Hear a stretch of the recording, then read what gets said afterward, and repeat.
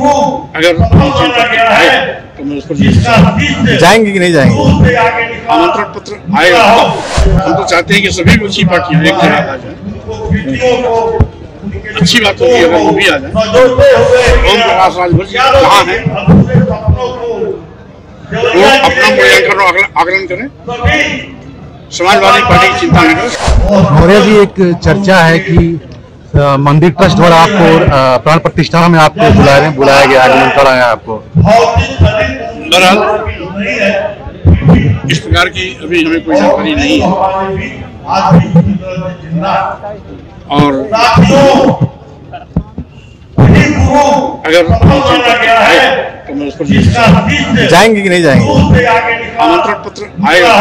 अच्छा ये कांग्रेस कांग्रेस के लोग कहना है कांग्रेस कार्यकर्ताओं का कहना है कि यूपी में बीएसपी का साथ होना ज़रूरी है चुनाव जीतने के लिए। सपा को। देखिए कांग्रेस को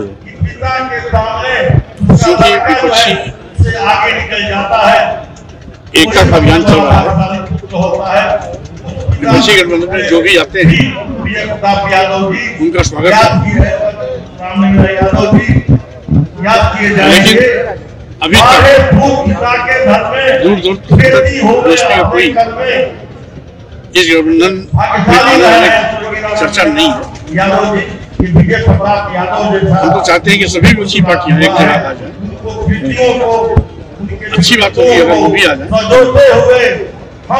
लेकिन ऐसी है।